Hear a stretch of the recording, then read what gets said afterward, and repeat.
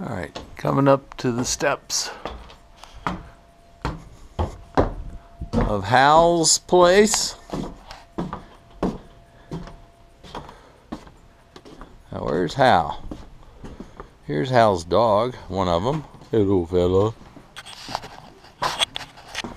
What you know? What you know? Hmm?